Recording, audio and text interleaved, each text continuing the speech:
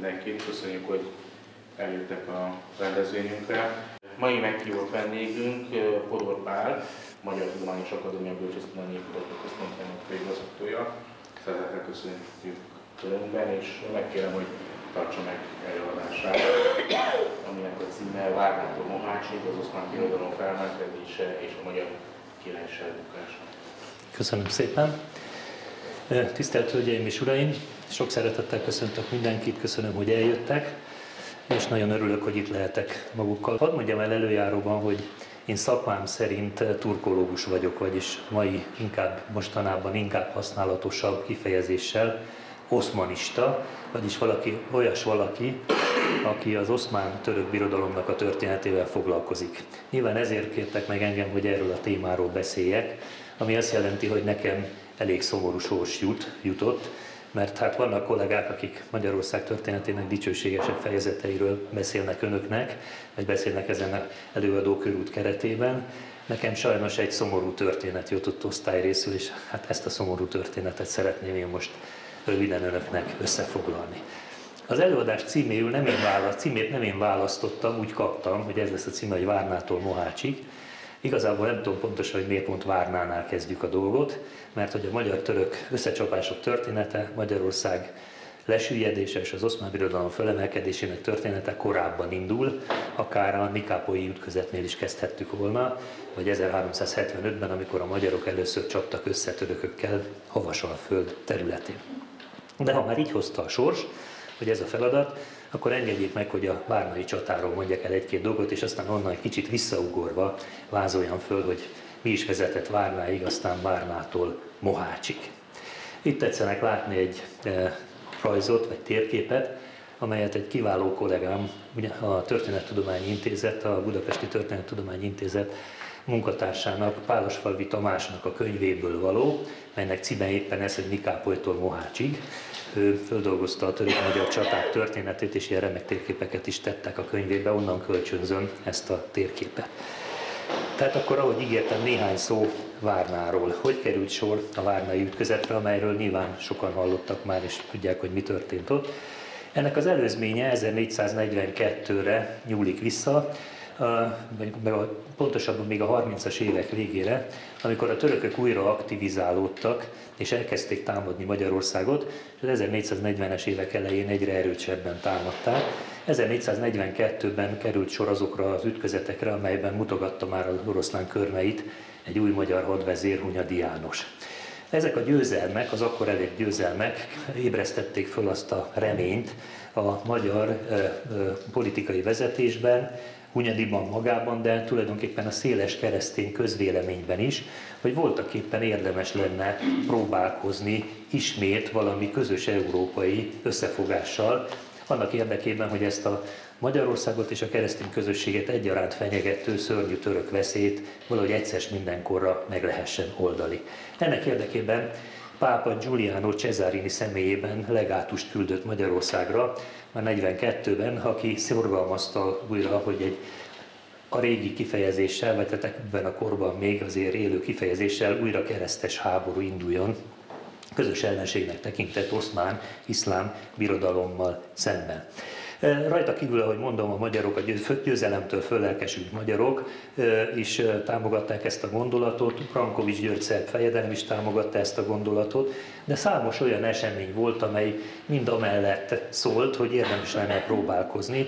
Például ilyen volt az, hogy Kis-Ázsiában, tehát a birodalomnak a keleti felében, mint az oszmán birodalom keleti felében föllázadt az egyik fejedelemség, a Karamán fejedelemség 1443 tavaszán, aztán a maradék bizánci területek közül Konstantin által uralt Móreai félszigeten is nagy sikereket éltek el a görögök a törökök ellen.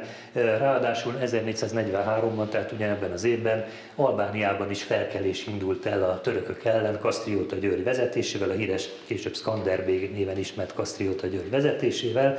Tehát mindez arra ösztönzött, hogy esetleg az eddigieknél is többet lehetne tenni, valami olyat, amit a keresztény közösség utoljára Nikápoly, tehát 1396-ban Nikápolynál próbált meg, tehát hogy egy közös keresztes haddal kiverni a törököket Európából. Nos, hát ennek a nagy elszállásnak, ennek a nagy fölbuzdulásnak, ezeknek a kedvező körülállásoknak lett a következménye egy nagy hadjárat, amelyet mi úgy ismerünk, hogy hosszú hadjárat, amelyre 1443 és 44 elején került sor, egy rendkívül érdekes hadjárat volt, hiszen ebben a korban a seregek télen általában nem hadakoztak. Se a keresztények, se a magyarok, a törökök. A törökök általában a, ugye össze október 26-a után hazavonultak, nem, volt, nem befejezték a hadjárati évadot aminek meg volt a jó oka, télen nagyon nehéz volt ellátni a csapatokat. Na most hát ezt a hadjáratot pedig éppen szeptemberben indították el, októberben indult el tulajdonképpen a magyar, illetve a keresztény sereg Mándorfehérvárról, és egészen a Balkán hegység hágóig, hágójáig, hágóig jutott el, ahol azonban az addigra magát összeszedő török szultán, illetve csapatai téli hidegben megállították a magyar sereget. Ennek ellenére tehát a fő cél nem teljesült, mert az volt a célja a hadjáratnak, hogy a magyar keresztes seregek egészen Drinápoig, Edirnéig, a török birodalom európai fővárosáig hatoljanak el, és azt elfoglalva esetleg meg tudják valósítani a nagy célt, a törökök kiűzését Európából. Ez tehát nem sikerült, viszont az, hogy a hadjárat folyamán minden egyes ütközetet megnyertek Hunyadiék, megnyert a magyar sereg, fölélesztette a reményt, hogy érdemes lenne ezt a dolgot megismételni, és egy még nagyobb vállalkozásba fogni. Hát így jött létre a következő évi háború, hadjárat, amely Várnánál ért véget. A nagy fölbuzdulásban 1444 áprilisában országgyűlést tartottak Magyarországon, ahol első Ulászló király, aki ugye Lengyelországból érkezett hozzánk, esküdtet személyesen, hogy személyesen vezet hadat annak érdekében, hogy kiírtsa a törököket. Nagy diplomáciai előkészítés is folyt, Velencei pápai burgund hajóhadat ígértek a szövetségesek fölállítani Velencében, amelynek az volt a feladata, az lett volna a feladata, hogy a tengerszorosokat, a Boszporusz és a Hellespontos lezárja, és ezáltal megakadályozza, hogy a törökök csapatokat tudjanak áthozni Anatóliából az európai háborúhoz. Követet küldtek Kastrióta Györgyhöz, aki támogatást ígért, bizánci és aragóniai követek jöttek Budára, akik szintén érdekeltek voltak, illetve érdekeltséget mutattak a vállalkozásban való részvételre, és hát még a korabeli Magyarország nagy problémáját jelentő harmadik Frigyes császárral is sikerült fegyverszünetet két évre kötni, tehát minden adva volt ahhoz, hogy megint egy nagy keresztes összefogás induljon, és hát ezt a vágyott nagy célt elérjék. Sajnos azonban a dolog nem úgy történt, ahogy azt Hunyadi Magyarország vezetői, illetve a kereszténység vezetői, meg az egész keresztény világ remélte volna. Az történt ugyanis, hogy az egész már rossz előjelek közepette indult. Volt egy színjáték a legelején, amit eh, röviden el akarok önöknek mondani, látva, hogy milyen bonyolult volt azért az a világ is, amikor a közérdek meg az egyéni érdek nem feltétlenül vágott egybe. És ez kicsit rossz fint vet a mi hunyadinkra, de ettől még sajnos igaz. Ugyanis az történt, hogy második Murát szultánnak ekkori török uralkodó, vagy oszmán török uralkodó, megorrontva, hogy mi készül ellene, egy hadicselt alkalmazott, a hadicsel pedig az volt, hogy megkereste Brankovics György szerdespotát, aki neki az apósa volt, ugyanis a Brankovics lányát kapta feleségül, Mara szultánát. És a leány, tehát az Brankovics leányán, tehát a saját feleségén keresztül megkereste Brankovicsot, és azt üzente neki, hogyha sikerül békét elérnie Magyarországnál, keresztény világnál, akkor cserébe visszaadja neki országát, amelyet egyébként 1439-ben foglaltak el a törökök, Szendrővel együtt, és ugye kiűzték Brankovicsot saját országából. Sőt, ezen túl Magyarországnak rendkívül jelentős 100 ezer forintnyi összeget fizet, és ha a magyarok azt kérik, igénylik, akkor akár egy 25 ezer fős sereget is a rendelkezésükre bocsát bármilyen vállalkozásukhoz. Brankovics a dolgot úgy e, próbálta megoldani, természetesen tetszett neki az ötlet, hiszen szeretett volna újra király lenni az országában, hogy megkörnyékezte Hunyadit.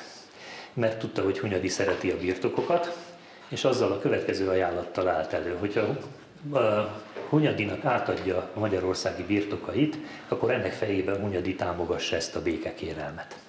Hunyadi elfogadta a dolgot, ráállt, de közben eszágában sem volt lemondani a hadjáratról. Ezért aztán egy sor színjátékot rendezett a magyar vezetés, e, ugyanis a törökök tényleg megtették a békeajánlatukat, magyar követek mentek e, a török udvarba, Trinápolyban júniusban megkötötték a magyar-török békét az említett feltételekkel, a szultán megnyugodott, úgy érezte, elrendezte a dolgot, azonnal le is mondott a trónról, és elment birodalma keleti felébe, egy Manisza nevezetű városba, mert már nem volt kedve uralkodni, és inkább a költő barátaival iszogatni és verset írni volt neki kedve. Követek, török követeket elküldték a magyar udvarba, hogy akkor itt is ratifikálják a szerződést, az egyezményt, akik meg is érkeztek, ami óriási zavart okozott a keresztény táborba, hiszen Szegeden már gyülekezett a keresztény sereg, hogy induljon az oszmán birodalom ellen, amikor hirtelen megjelentek a békével, a béke ajánlattal, pontosabban a törökök által aláírt béke egyezménnyel a török követek. Hát ez nagy zavart okozott, csak következőképpen oldották meg. Giuliano Cesarini, a pápai legátus, titokban megeskedte Ulászlót meg a magyar vezetést, hogy bármilyen egyezményt kötnek a későbbiekben a törökökkel, az ereve érvénytelen lesz, és a háborút minden körülmények között megindítják. Így kezdtek el tárgyalni a török követekkel, akikkel aztán, hogy ne zavarják a keresztény seregnek a fölkészülését, eltávolítottak Szegedről, fölvitték őket Váradra, és augusztus 15-én ott aláírták velük a békét. De nem a király, hanem Hunyadi tette ezt a király és az ország nevében.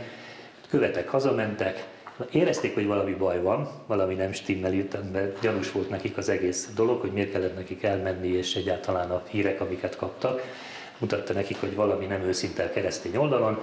Mindenesetre hazamentek a Hunyadi által ratifikált békével, de nem merték a szultánnak elmondani, hogy szerintük valami nincs rendben. Ezek után a keresztény sereg megindult, és szeptemberben átkeltek Orsovánál, és megindították azt a hadjáratot, amely itt végződött ezen a csatatéren.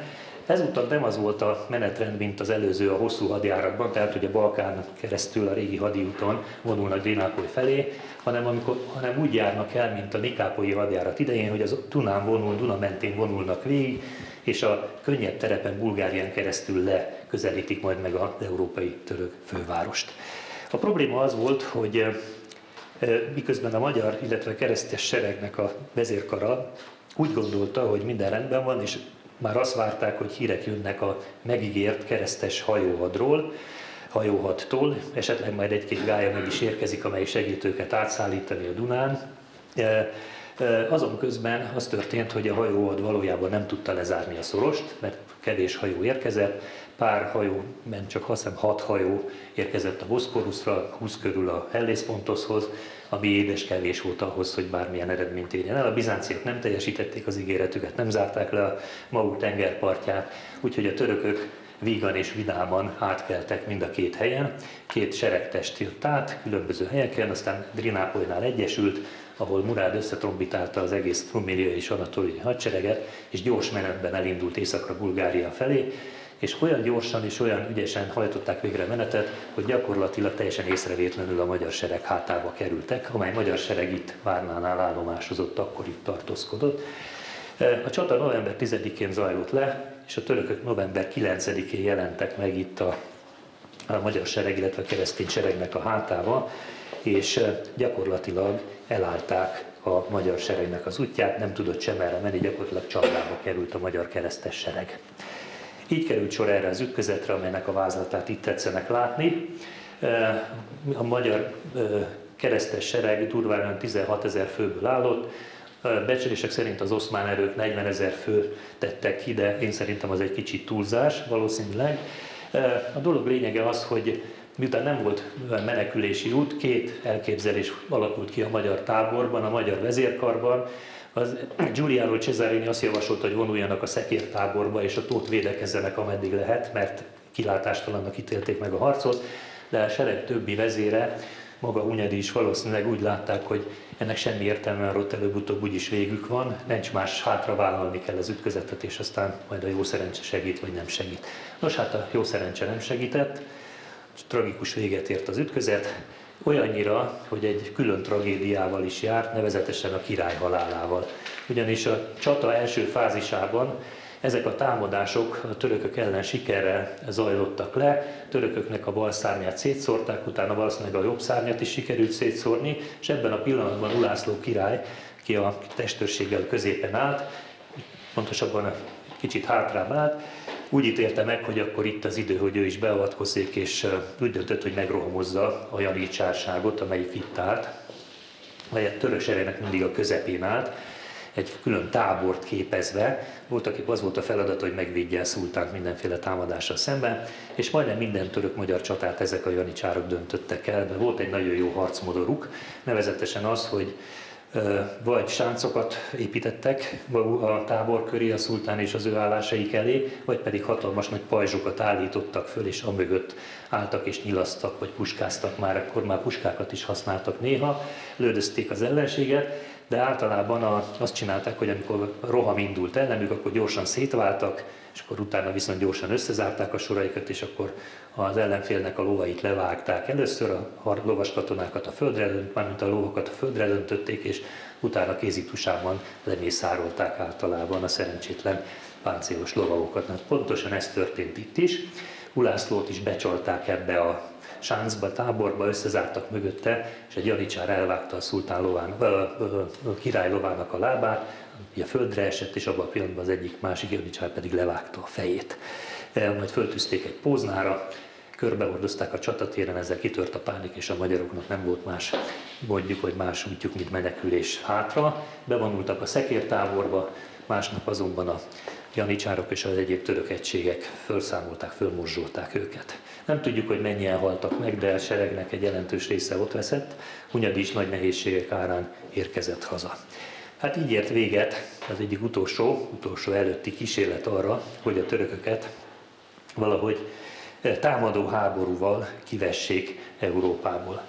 Eh, még, eh, volt még egy kísérlet négy évvel később, Hunyadi úgy látszik nem érezte túlságosan nagynak a veszteséget, a várnai veszteséget, nem adta fel azt az elgondolását, amit hosszú hadjáratban és a várnai csatában képviselt, négy év múlva megpróbálta újra, ezúttal más irányban támadott a törökök ellen, eh, mégpedig eh, Szerbián keresztül Koszovó, tehát Rigó mező Koszovó polja felé vette az irányt, annak érdekében, hogy Kastrióta Györgyel összefogva eh, megtámadják Tesszalonikit, akkor már török kézen lévő nagy görög kikötővárost, és innen próbáljanak eredményt elérni. Sajnos ugyanaz történt, mint, Várnai, mint a Várnai ütközet elő estén, vagy a Várnai ütközet idején, hogy a szultán ezúttal is rendkívül gyors volt, rendkívül ügyesen összeszedte a csapatait, és megint villámgyorsan, szinte észrevétlenül a magyar sereg hátába került.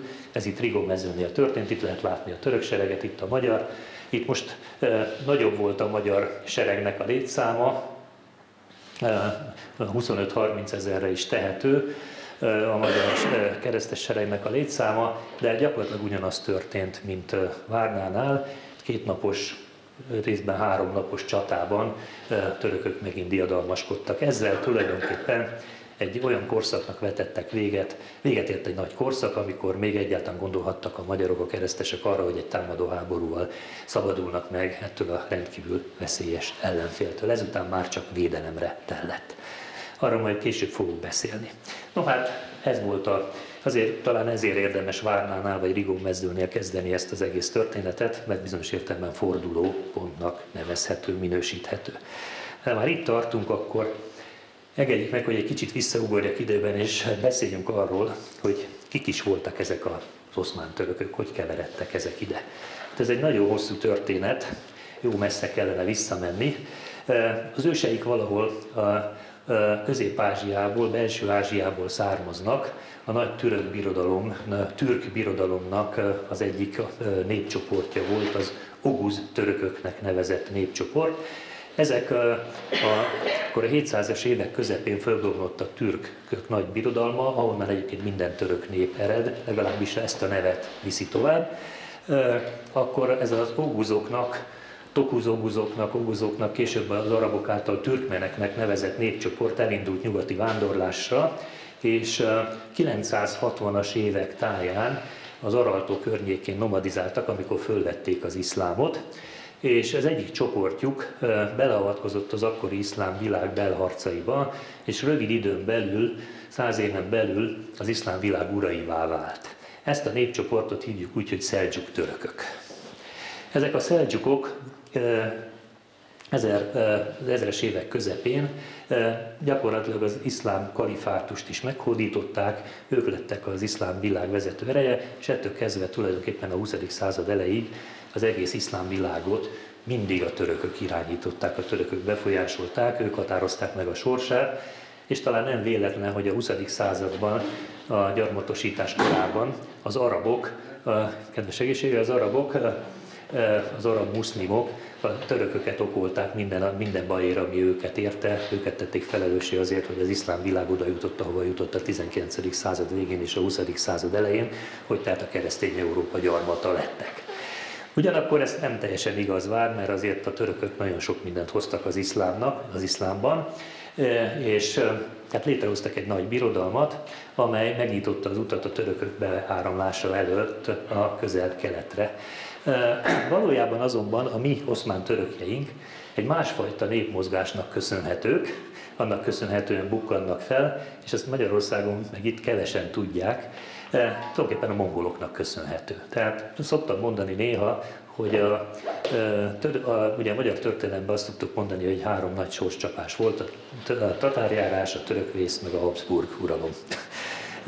A Habsburg uralmat most azt hagyjuk, mert azt különbözőképpen értékeljük, de a tatárok és a törökök ügyében általában egyetértés van. Hát azt szeretném csak aláhúzni, hogy ez a második, tehát a török vész voltak épp ez is a mongoloknak köszönhető.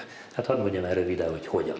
Úgy ugye, hogy 1200-as évek elején kialakult a Genghis Khan vezette nagy mongol birodalom, amely az 1220-as években úgy döntött, hogy meghódítja az egész világot. A mongol hadak elindultak a világ öt tája felé, és nem csak Magyarországra, Közép-Európába, Lengyelországba és Magyarországra jöttek el, és pusztítottak itt nagyon derekasan, hanem az egyik águk a közel-keletre is lement, és elfoglalta, megszállta Iránt és Azerbajdzsánt.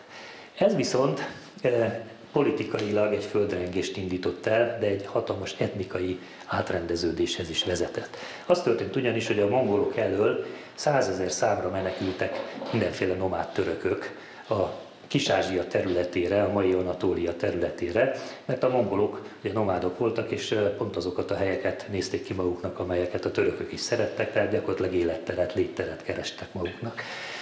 A mongolok befészkelték magukat Iránba, és létrehoztak ott egy birodalmat, amit Ilhanida birodalomnak nevezünk, és ennek az Ilhanida birodalomnak a legfőbb célja az volt, hogy elpusztítsa az iszlám kalifátust. Ezt meg is tették, 1258-ban elfoglalták Bagdadot, és utána azt tűzték ki maguknak, hogy tovább mennek Szíria és Egyiptom felé.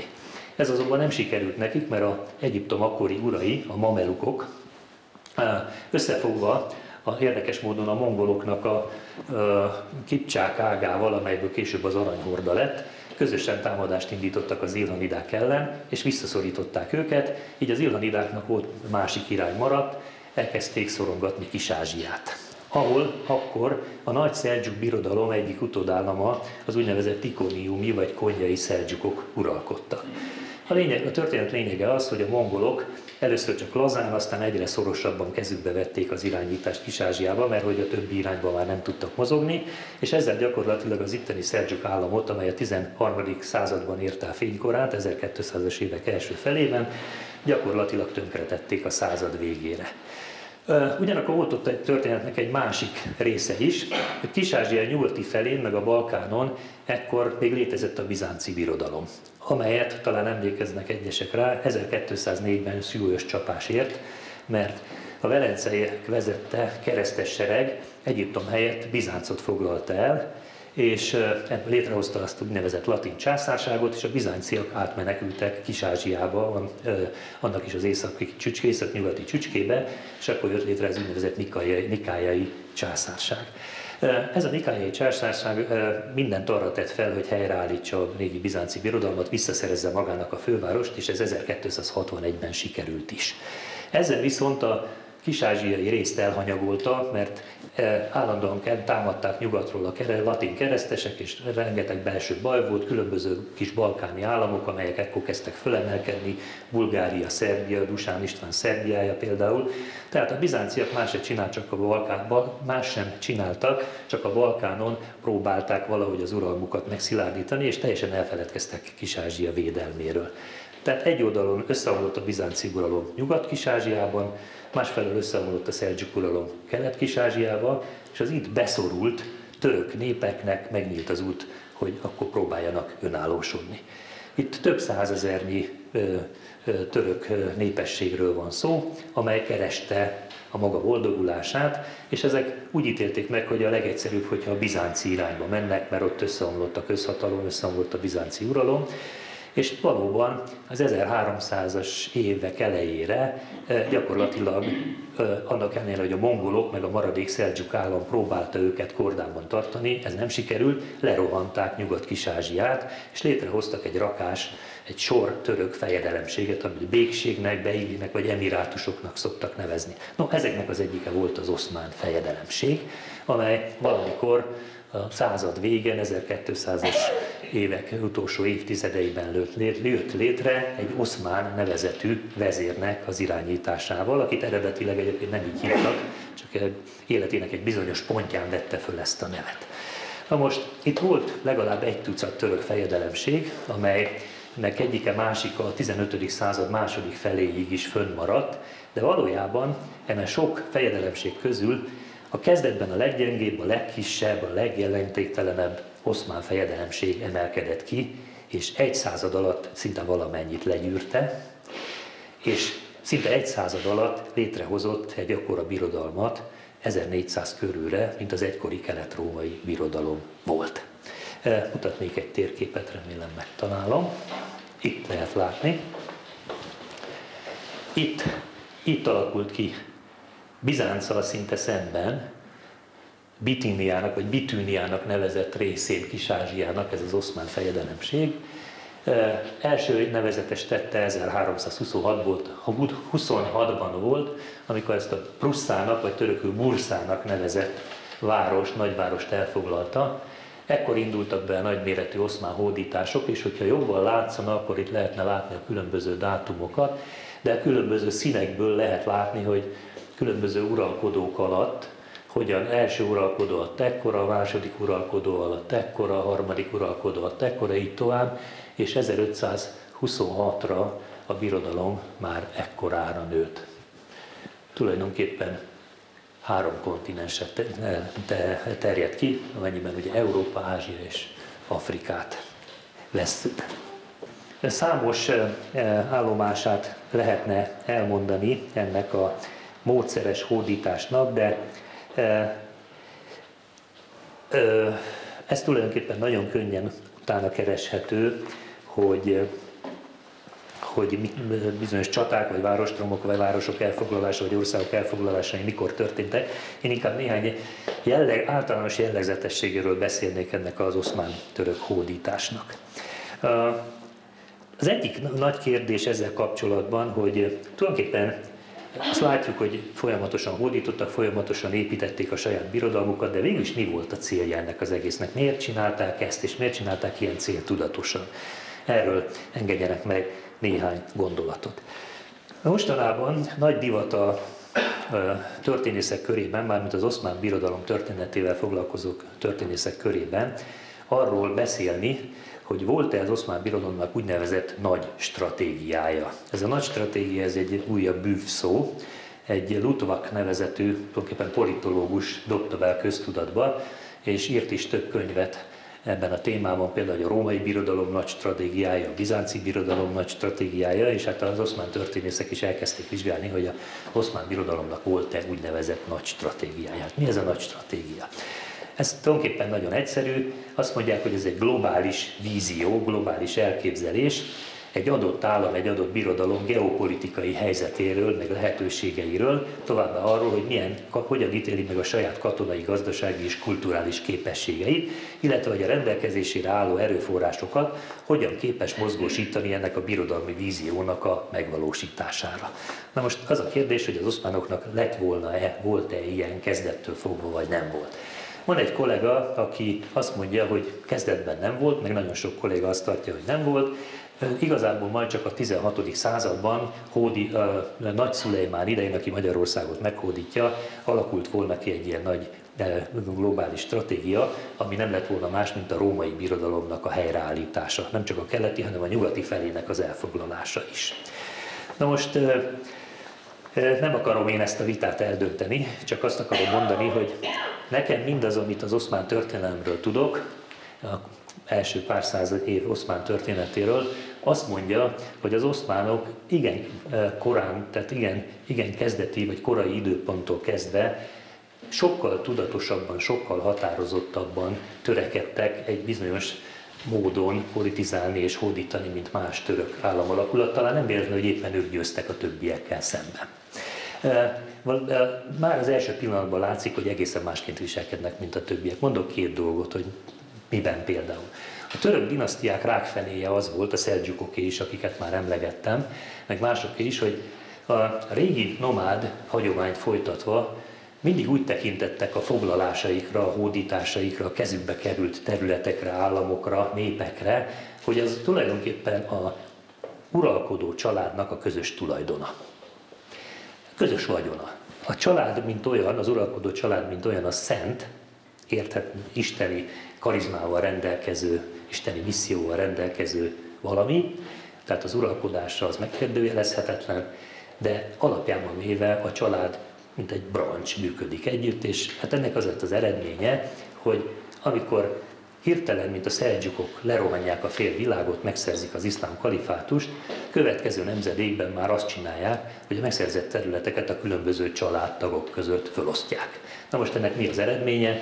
Az az eredménye, hogy rövid időn belül, 100-150 éven belül szétesik az egész, mert a különböző állak egymás ellen fordulnak, kitör a testvérharc, és vége az országnak. Most az oszmánok az első pillanattól kezdve tagadják ezt a dolgot, és teljesen jól látszik, hogy Oszmán az első, az alapító már tudatosan készíti elő az öt utódlást, hogy a testvérek, sok gyereke volt, hogy a testvérek között ilyen ne lehessen, és az Orhár nevű fia minden probléma nélkül foglalhassa el a trónt. És ez, ez látszik a későbbiekben is, és minden áron törekszenek arra, hogy a birodalom egysége megmaradjon. Ennek érdekében meg olyan módszert is bevezetnek, amit úgy hívnak, hogy a testvérgyilkos törvény, ami azt jelentette, hogy az oszmán felfogás szerint minden férfi tagja a dinasztiának egyaránt egyként jogosult, ugyanolyan módon jogosult uralkodóvá válni.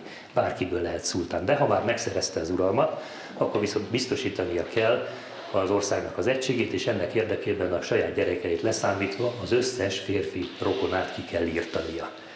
Ez 1300 körül már elkezd, vagy eh, igen, 1300 90 körül már elkezdik ezt a gyakorlatot alkalmazni, és a 15. században kvázi törvénybe is foglalják, hogy a mindenkori uralkodónak szent kötelessége a testvérek és a rokonoknak a kiirtása, a férfi rokonoknak a kiirtása. Ahogy mondta egy mondás, hogy a szultánátus menyasszonya nem tűr el több férjet.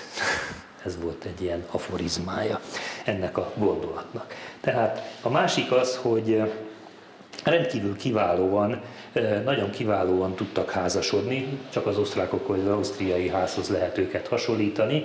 Az első 200 évben remek házassági politikát folytattak, amelyen nagyon kiváló társadalmi, politikai, katonai szövetségeket tudtak kötni. Aztán volt még egy nagyon érdekes jellemzőjük, hogy miközben muszlimok voltak, miközben az iszlám nevében hadakoztak formailag, valójában nagyon türelmes valláspolitikát folytattak keresztényeket tömkelegét, millióit hódították meg, egészen a 16. század elejéig az oszmán birodalomban többségben voltak a keresztények, tehát egy kisebbség uralkodott egy többségen.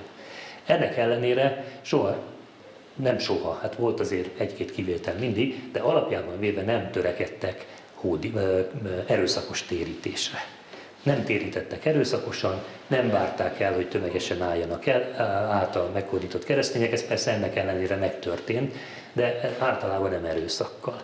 Ennek volt egy jó meghatározható gazdasági oka is, nevezetesen az, hogy a keresztények fejadója volt a legfontosabb bevétele a kincstárnak, tehát már gazdasági okokból sem. De aztán ráadásul még azt is megtették, hogy a keresztényeknek a régi katonáskodó szervezeteit, elemeit nagyon szívesen bevették az oszmán hadszervezetbe, úgyhogy tulajdonképpen őket is érdekeltétették a török hódításokban. No, hát ennyit az általános irányultságukról, akkor most néhány szót arról, hogy valójában mi volt a céljuk. Hát szerintem, ha nem tudom, hogy még egyszer visszatérve az előbb felvetett problematikára, nem tudom biztosan, hogy volt kor, volt-e kor, ebben a korban, mondjuk az 1300-as években úgynevezett nagy, nagy stratégiájuk, mert nincs rá forrás, de azért a tetteik alapján én arra következtetek, hogy nagyjából ilyen 5-6 nagy célt követtek kezdettől fogva. Az egyik legfontosabb céljuk volt a bizánci birodalomnak az elfoglalása, a bizánci birodalomnak a megszerzése, megtörése, amely ugye hát nagyjából ugyanezen a területen feküdt, terült el eredetileg. Itt a szomszédból innen indultak az oszmánok, és gyakorlatilag a 15. század végére létrehozták ugyanazt a kelet-római birodalmat, csak most oszmán-török birodalomnak nevezték, és amelynek az államvallása nem az ortodox keresztény vallás volt, hanem az iszlám vallás volt. Na most hát ezt nagyon szisztematikusan, tudatosan érték el, hogy a bizáncot le tudják gyűrni.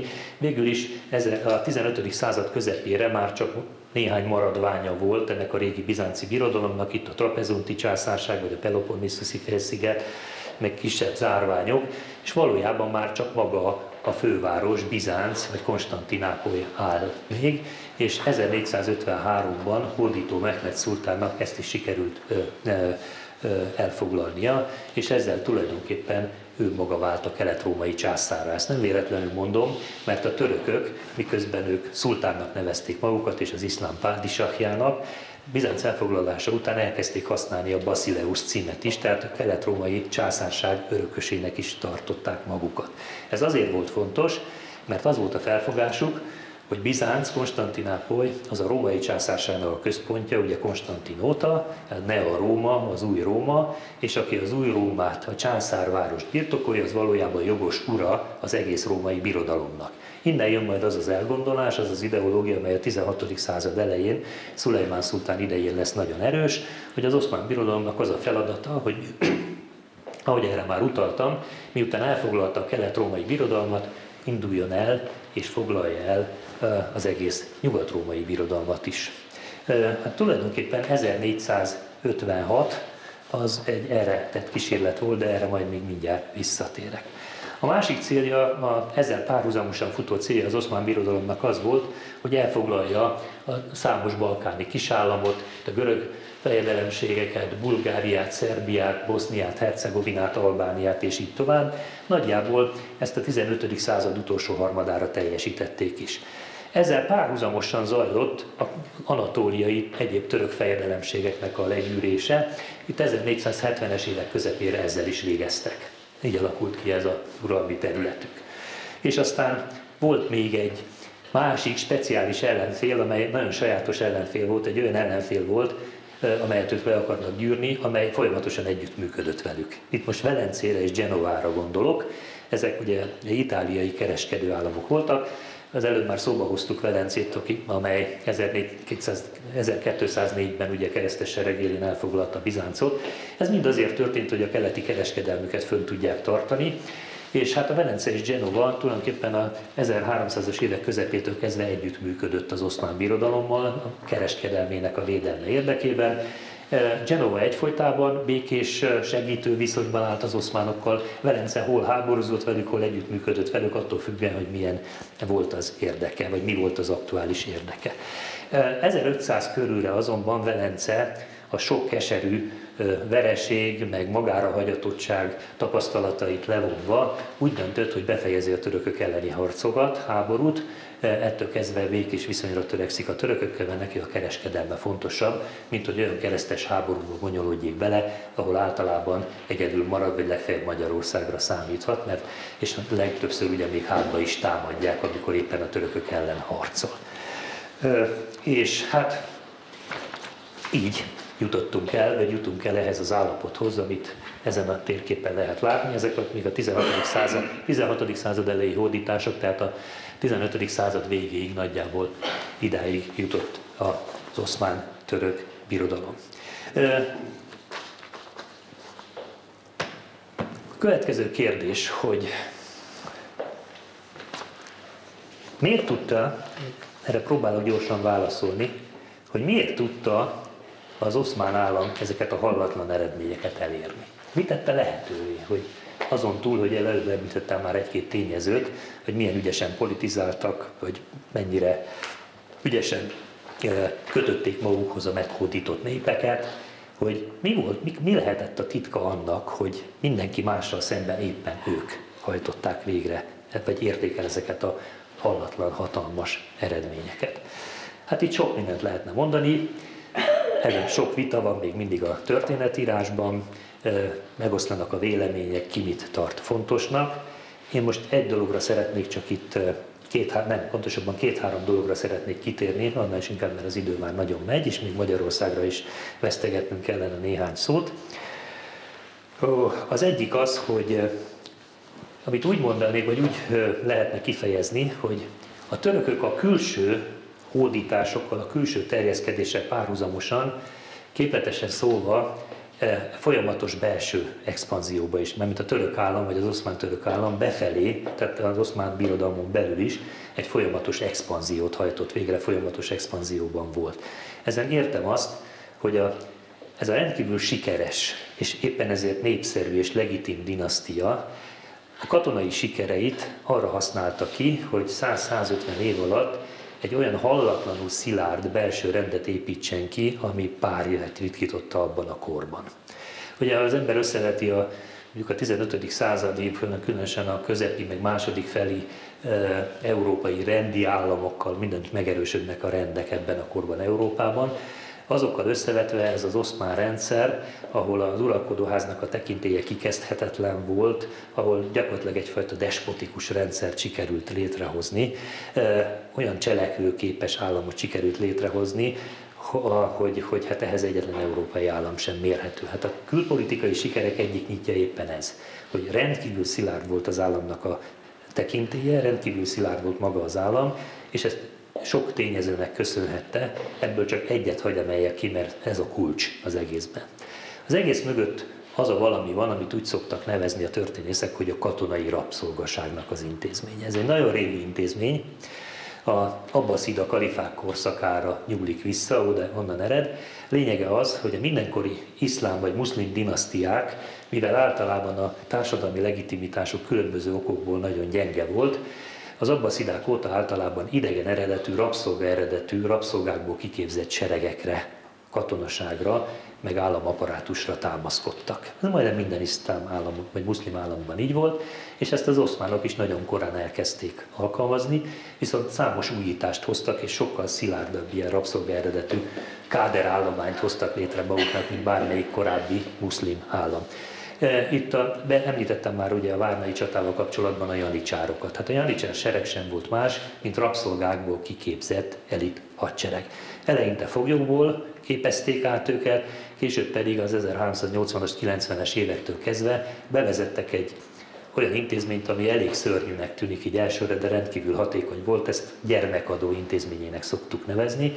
Nevezetesen a saját meghódított keresztény lakosság gyerekeit szedték össze, különböző szempontok szerint, általában ilyen 10-15 7-18 év közötti gyerekeket, szemrevaló, alkalmasnak látszó gyerekeket gyűjtöttek össze, raboltak ezt kvázi a családjuktól, aztán elvitték őket a szultáni udvarba, meg a nagyok udvaraiba, és ott a szultánhoz minden körülmények között hű, vakhű katonákká nevelték ki őket. Kicsit a szekuritáte ha itt vagyunk, toborzási módjára hasonlítható intézményről van szó.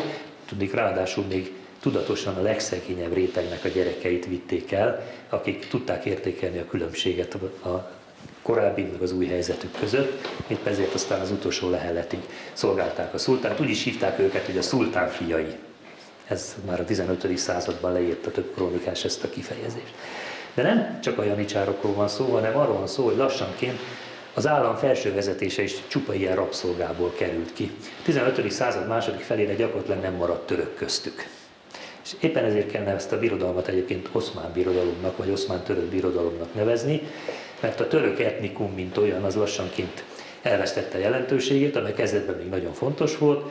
Ezek a renegátok vagy rabszolgák vették át mindenütt az uralmat, a törököket leszorították, lenyomták, és kialakult egy olyan valami, egy olyan dinasztikus állam, amelyben az alattvalók, és különösen az államabarátus képviselői nem törököknek érezték magukat, nem ahhoz voltak lojálisak, hanem a dinasztiához, az oszmán dinasztiához, és ezért ezeket oszmánliknak, oszmánoknak nevezzük, vagy jogos nevezni. Na hát ez volt az igazi támasza ennek a dinasztiának, ennek az államnak, és mivel ezeket a rabszolgákat folyton utánpótolni kellett, pótolni kellett őket, ugye, mert fogytak a háborúban, és az eltartásuk ugye egyre többe került, mert hogy mind többen lettek, ahogy az állam terjeszkedett ki, egyre többen lettek, és ehhez újabb és újabb erőforrásokra volt szükség. Ezért ez a rabszolga eredetű elit és hadsereg volt az, aki a hódításokat minden körülmények között szorgalmazta, mozgatta. Eme rabszolgából kiképzett államaparátus és hadsereg mellett az oszmánok rendkívül ügyesen társadalmasították a hadviselést, a háborút. Ahogy már említettem a keresztényekkel kapcsolatban, hogy a 16. század közepéig lényegében az oszmán társadalom szinte minden rétegét bevonták és érdekeltétették abban, hogy háború legyen. Legkülönbözőbb paraszti, városi milíciákat állították föl, alkalmazták, vagy éppen adtak nekik adómentességet annak fejében, hogy hadakozzanak. Tehát kialakítottak egy olyan rendszert, hogy gyakorlatilag az oszmán társadalom háromnegyede érdekelté vált abban, hogy folyamatos háborúk folyjanak. És ezzel párhuzamosan, és ez volt a másik vagy harmadik nagy ereje az oszmán birodalomnak, létrehozták a európai viszonylatban mindenképpen az első állandó hadsereget. Ugye Európában nincs állandó hadsereg, éppen egy nagy váltás zajlik az oszmán birodalom fölemelkedése idején, ami azt jelenti, hogy a régi általános hadkötelezettségen alapuló, ami persze elsősorban a nemesi társadalmat érintette, hadakozásról térnek, áttérnek a zsoldosok alkalmazására, amelyben Itália járt az élen, és az oszmánok pedig éppen ebben az időben hoznak létre egy olyan hadsereget, amely minden pillanatban fegyverben áll, minden pillanatban mozgósítható, amelynek állandó, jól begyakorlott, állandóan gyakorlatban lévő tisztikara van, aminek hihetetlen jelentősége van, hiszen gondoljanak rá, hogy Mohácsnál a magyar hadvezetés vagy a magyar vezetésnek az egyik legnagyobb problémája az volt, hogy nem tudtak találni egy olyan embert, aki az elmúlt pár évtizedben nagy mezei ütközetet irányított volna. Tehát nem volt gyakorlat, nem volt tapasztalat. Na, az oszmán birodalomban ilyen nem volt, hiszen ott szinte évről évre vezettek vagy keletre, vagy nyugatra egy háborút, és a katonai parancsnokok azok rendkívüli módon begyakorolhatták egymást. Hát ennyit akkor az oszmánokról, és most az előadás utolsó részében foglalkozunk azzal a kérdéssel, hogy mit tudott tenni Magyarország a török birodalommal szemben a kor 15. század közepére mindenképp legnagyobb hatalmával szemben. Nagyjából 7 pontban tudnám összefoglalni azokat a lehetőségeket, amelyek Magyarország rendelkezésére álltak. Az egyik az, hogy amiről már Várna kapcsán, meg Rigó mező kapcsán tettem említést, hogy hát megpróbálkozhatott összeurópai vagy keresztes háborúknak a szervezésével vagy támogatásával.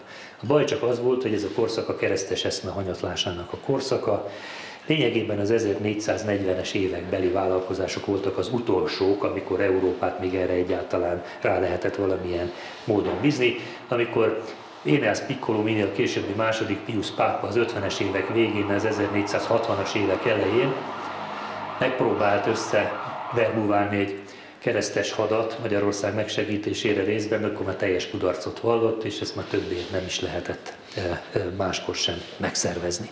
Lényegében a 16. század elejére Magyarország magára maradt.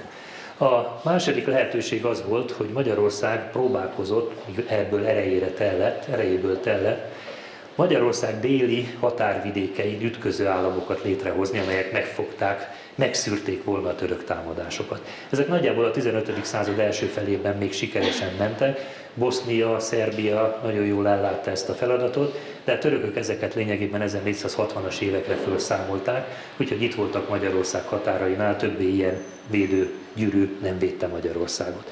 Ahogy mondottam, a harmadik lehetett volna a támadó háború vezetése, a Balkánra, esetleg a törökök kízésére, de az 1440-es évek után ennek a realitása szintén megszűnt. Többi Magyarország erre már nem volt képes. A negyedik módszer, és ez volt a leghatékonyabb, hogy megpróbálkozik egy déli végvári rendszer kiépítésével, amely valamilyen módon föl tudná, föl tudná tartóztatni a török rohamokat. Ez hosszú évtizedeken keresztül ment ez a folyamat, ennek a végvári rendszernek a kiépítése, amelynek eredményeként Mátyás király korára, az 1470-es évekre valóban létrejött egy jól szervezett, jól irányított, kettős végvár rendszer. Az, alsó, az első a Szöréntől ment a Duna száva mentén egészen a dalmáciai partokig, a másik egy 50-100 kilométerrel fölötte húzódott, és ez a kettős végvár rendszer valamennyire azért óvta Magyarország területét. Persze azt sosem tudta elérni, hogy a török portyázó csapatok be ne jöjjenek Magyarországra, néha egészen elképesztő távolságig be tudtak jönni a törökök, gondoljanak arra, hogy 1474-ben gyakorlatilag elpusztították Várat környékét, kivéve Várat, mert azt nem tudták bevenni, tehát idáig föl tudtak jönni. A, de minden esetre ez volt az a, a rendszer, amely, amely valamit jelent, valamiféle megoldást jelentett egy időre. Az ötödik módszer az volt, hogy megpróbált békébe élni, miután a támadó háborúknak a lehetősége elveszett, meg, megpróbált békében élni az oszmán birodalommal. Ennek érdekében 15. században számos békekötés történt Magyarország és az oszmán birodalom között. Egészen 1520-21-ig eltartott ez a korszak. A probléma csak az volt, hogy a békék nem védték meg Magyarországot, mert a portyázó török csapatok békeidőben is folyamatosan bejártak Magyarország területére, aminek megvolt az a jó oka, hogy nekik is el kellett valamiből tartani magukat, még ha kaptak is fizetést, valamennyi fizetést az oszmán államtól, de az igazi, hogy mondjam, jövedelem, vagy a fő jövedelem az abból származott, hogy embert tudtak rabolni, embert tudtak rabolni és azt eladni a rabszolgapiacon. Aztán hatodiknak itt lett volna egy olyan módszer, amit úgy mondhatnánk, hogy Közép-Európa erőinek összefogása, ha már az egész kereszténységét nem megy a, a törökök ellen. Ugye, hát lényegében ezért is történt valamennyire, ezért is történt 1440-ben első Ulászló megválasztása, egy magyar-lengyel personáluniónak a kialakítása, de hát ugye Ulászló halálával Várnánál ez megszűnt.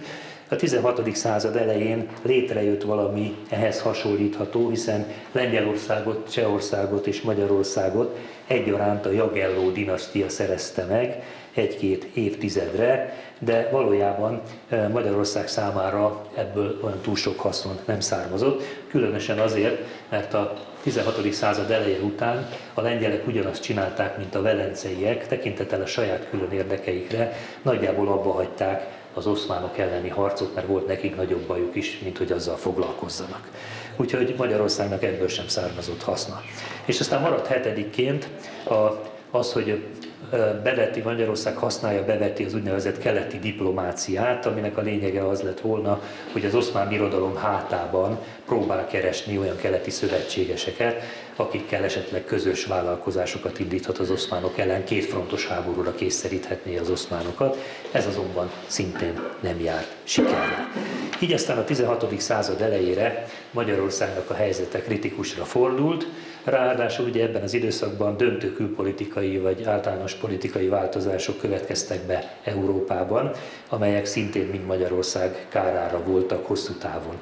Az első az volt, ahogy már említettem, hogy a pápaságnak a hatalma ereje tekintélye nagymértékben hanyatlott, vele együtt lehanyatlott a keresztes eszmének a keresztes eszme is, és hát elkezdődött egy olyan folyamat, amit mondjuk így nemzetállami fejlődésnek nevezhetnénk, ahol mindenki a saját államrezonját képviselte, és nem valamiféle közös európai politikát, amelyet a pápaság korábbi századokban megtestesített. Aztán, amikor jött a reformáció, akkor viszont már teljessé vált a megosztottság, és még kevésbé lehetett remélni európai segítséget. A nagyhatalmak ráadásul a török kiűzése helyett egyre inkább, ahogy mondtam, saját nemzeti érdekeik szempontjából kezdtek el politizálni, és a török kiszorítása helyett elsősorban arra törekedtek, hogy Itáliát próbálják elfoglalni. Aztán, amikor 5. Károly, vagyis Károlyt megválasztották a német-romai birodalom császárának 1519-ben, akkor meg létrejött egy újabb nagy szembenállás, rivalizálás, francia királyság és a Habsburg birodalom között, mert a franciák úgy érezték, hogy a Habsburg birodalom harakófogóba felvette őket, és ezért elindították a szempontjukból védekező harcot, ami azt jelentette, hogy az Európa következő 50 évben a francia, a Valois, Habsburg vetélkedéssel, háborúval volt elfoglalva. És ez odáig vezetett, hogy mikor Ferenc király 1525-ben vereséget szenvedett 5. Károlytól, akkor nem mástól, mint éppen Szulajmán szultántól kért segítséget. Kérte meg, hogy támadja meg a Habsburgokat, kvázi Magyarországot. Ráadásul ezzel együtt belpolitikai változások is történtek Magyarországon, királyi hatalom eléggé meggyengült a Jagellókornak a végére, és hát gyakorlatilag Magyarország anyagilag már ekkorra beleroppant a török ellenes háborúk költségeibe. Egyszerűen az ország ezt már nem bírta el. Így aztán, amikor Szulejmán szultán trónra lépett 1520-ban, és úgy döntött, hogy az előző évtizedek politikájával szakítva ismét megindítja az európai offenzívát, ugye, hogy nagyapja, vagy déd nagyapja, második Mehmed tette, ugye amikor 1456-ban megpróbálta elfoglalni Nándorfehérvárt, akkor lényegében egy olyan Magyarországgal állt szemben, amelyek hát lényegesen gyengébb volt, mint amelyel az elődeinek kellett megküzdenie. Második Murát szultán és második Mehmed szultán, Konstantinápoly elfoglalója még nem bírt Magyarországgal, mert akkor még Magyarország voltnak volt annyi ereje, hogy ennek ellenálljon, 16. század elejére, ez 1520-as évekre azonban annyira eltolódtak az erőviszonyok a két állam között, hogy ennek már semmi realitása nem volt. Ha sikerül, akkor megkeresem, nem, igen, megy, a, azt egy-két táblázatot, amely mindennél jobban elmondja, hogy miről van itt szó. Amikor Szulejmán szultán 1521-ben megindította a támadást Magyarország ellen, első hadjáratát Magyarország ellen vezette, amelynek eredményeként elfoglalta Nándor Fehérvárt 1521. augusztus 21-én, akkor nagyjából így nézett ki a két országnak a viszonya. Magyarország területe ekkoriban Horvátország nélkül durván 300 ezer négyzetkilométer tett ki, az oszmán birodalom ekkor már másfél millió négyzetkilométeren helyezkedett el. Ha a lakosságot nézzük, akkor az arányok a következők. Magyarország 3,2-3,5, de lehet, hogy ennél kevesebb egyesek szerint. Az oszmán birodalom pedig 12-13 millió főt számlál. Ha az államok éves bevételeit nézzük, akkor azt látjuk, hogy Magyarországon legfeljebb 300 ezer, de annál gyakran kevesebb az elkölthető pénz, a török birodalom vagy az oszmán birodalom pedig 4-5 millió forint éves bevétellel rendelkezett, amiből másfél millió meg is maradt neki évente.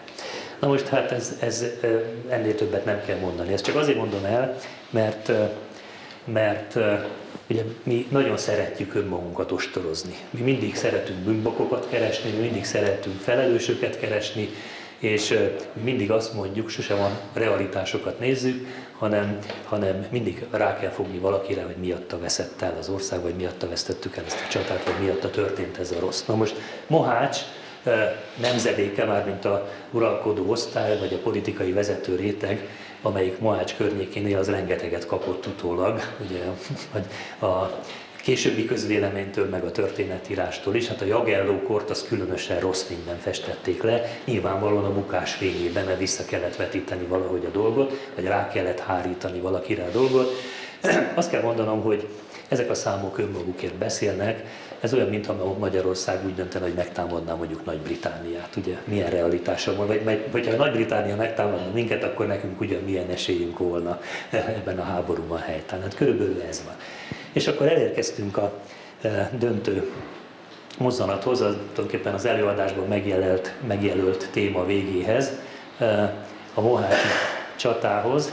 Mohácsi csatával kapcsolatban is van egy-két ilyen teljesen értelmetlen önvád befejezésül ezt szeretném elmondani. Tehát a dolog tulajdonképpen önmagától eldőlt, ha a török birodalom úgy döntött 1520-ban, hogy mostantól nem keleten hadakozik, hanem Közép-Európába, és megpróbálja az elmondottak alapján, vagy fényében, ahogy már korábban próbáltam erre célozni, helyreállítani a régi nagy római birodalmat, és annak első állomásaként Magyarországot, majd utána az Ausztriát foglalja el, akkor tulajdonképpen minden azon múlott, hogy katonailag képes-e erre, avagy nem. Tehát Magyarországnak ebben nagy beleszólása már nem volt.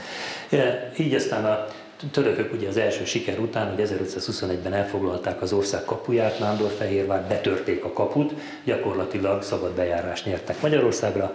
Utána volt némi belpolitikai probléma a török birodalomban, ezért néhány évig még eltartott, míg a következő hadjáratra vállalkozni tudtak de hát ez 1525-ben eljött, akkor megkezdték a fölkészülést, és 1526 áprilisában a szultán vezette hadak megindultak Magyarország eltörlésére. És hát ez az eltörlés ment végbe, valósult meg az 1526. augusztus 29-én vívott Mohácsi csatában. A vele kapcsolatban, ahogy az előbb már jeleztem, eh, megint van egy-két olyan dolog, amit nem árt tisztázni. Ebben a csatában, ahogy lehet látni, föl vannak írva nagyjából a a szemben álló erők. Ugye a történészek azt gondolják, és körülbelül én is ezt gondolom, hogy az oszmán erők a durván 60 ezer főből állhattak. Vele szemben fölvonult egy 25-27 ezer fős magyar, de tulajdonképpen nemzetközi sereg. Amikor ezt a csatát értékelték az elmúlt századokban, vagy az elmúlt évtizedekben nagyon gyakran korholták az akkori magyar vezetést, hogy miért csak ennyi katonát szedett össze, mikor, hogyha ügyesebben csinálták volna, ha mindenkit mozgósítottak volna, idejében elkezdték volna a fölkészülést, akkor akár több tízezeres, hatvanezeres sereget is föl lehetett volna állítani. Hát el kell mondanom, hogy minden vizsgálat azt mutatja, hogy ez a 25 ezer fő, amely összejött Mohácsnál, ez a korban egy kiugróan magas szám volt. Magyarországon nem lehetett 60 ezeres hadsereget létrehozni, és ennek a 25 ezeres vagy 27 ezeres egyesek szerint seregnek szinte fele nem magyar volt. Rengeteg lengyel vett részt, rengeteg cseh részt, német zsoldosok, stb. Lehetett volna még ráadásul ennél nagyobb is, hogyha nem vállalják az ütközetet akkor és ott, mert Dunántúlon majdnem tízezernyi, tízezer főnyi sereg igyekezett, zsoldos sereg igyekezett még a Mohácsi csatasik felé, ráadásul nem érkezett meg az erdélyi sereg sem, amelyet azért nem érkezett meg, mert a királyi udvar össze-vissza utasítgatta szegény Szapolyai Jánost, aki végül is nem tudta, hogy mit tegyen, de becsületére legyen mondva, hogy amikor kiderült számára, hogy mi a helyzet, akkor önmaga elindult a Mohácsi csatába, de már nem érkezett oda. És hát bizonyos erők ugye Horváth Szlavóniából sem érkeztek meg.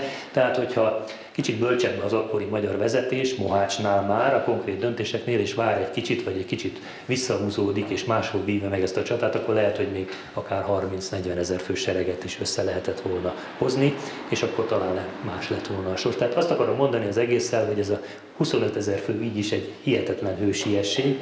A korban ilyen hadseregeket csak a német birodalom vagy a francia királyság tud kiállítani, de az is csak nagyon ritkán.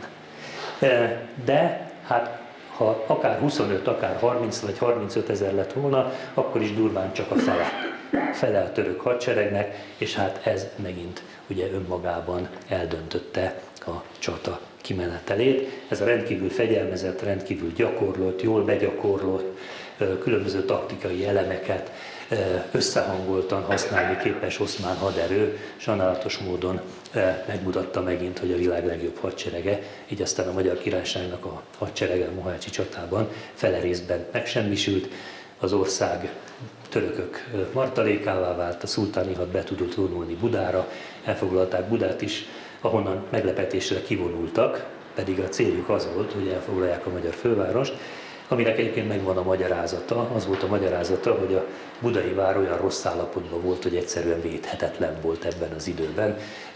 Ugye Magyarország közepét évszázadok óta nem látogatta meg idegen had, hála jó Istennek, így aztán nem nagyon törődtek a várfalakkal, úgyhogy ide, már ebben az, ezekben az években olykor maguktól omlottak le különböző részei, és a török hadvezetés úgy ítélte meg, hogy két több száz kilométerrel az, az oszmán vonalaktól egy ilyen városnak a megtartása túlságosan kockázatos, és majd visszajönnek majd, és akkor más irányba folytatják.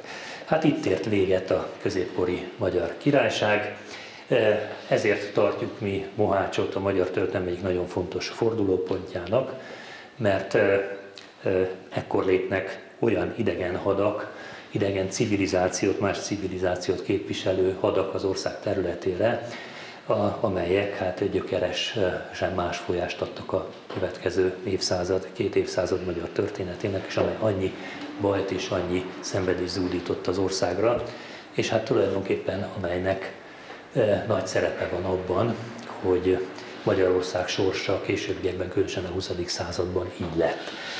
Most ebben, ebben az előadás keretében nem mehetek bele, de hát ha csak a demográfiai vagy etnográfiai, etnikai hatásait nézzük ennek a csatának, akkor teljesen nyilvánvaló és kézenfekvő, hogy bizonyos értelemben Trianon gyökerei is itt keresendők ennél az elvesett, elveszett Mohácsi csatánál, meg annak a következményeinél. Tehát mindenképpen a magyar történelem egyik döntő fordulópontjáról van szó, amelyet még egyszer mondom, egyesek szerint talán el lehetett volna kerülni, valószínűleg egy bölcsebb döntéssel, hogy nem Mohácsnál, és nem akkor vívják meg, átmenetileg el lehetett volna kerülni, de hosszabb távon nem hiszem, hiszen azok az erőviszonyok, amelyekről beszéltem, azok adottak, és sajnos azok, a, azok, azok mindig érvényesülnek az ilyen típusú összecsapásoknál. Köszönöm szépen a megtisztelő figyelmüket!